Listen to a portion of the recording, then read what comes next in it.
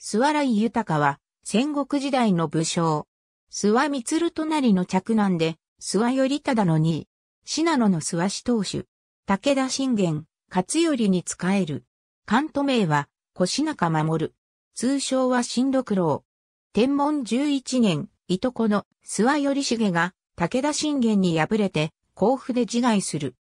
来豊の父である万隣は頼重を助けるが、頼重没後に高藤来次、矢島満身が諏訪郡と諏訪大社上社の大法理を求めて武田氏に対して反乱を起こすと、万隣は頼重の維持、千代宮丸を擁立して対抗し、9月には武田氏の助力を得て、これを撃破した。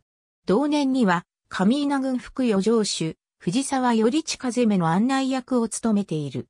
万隣のこれ以降の動向は不明。諏訪州の筆頭に名を連ね、使い番十二州として活躍し、今川氏新興戦でも先行を挙げた。また、天正六年の諏訪大社の再建には、弟の大法理、頼忠と共に中心に立って、再建事業に当たった。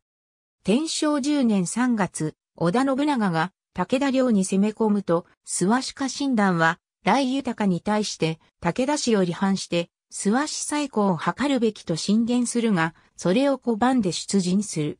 鳥居峠の戦いで敗れた後、織田軍に捕らえられて処刑されたという。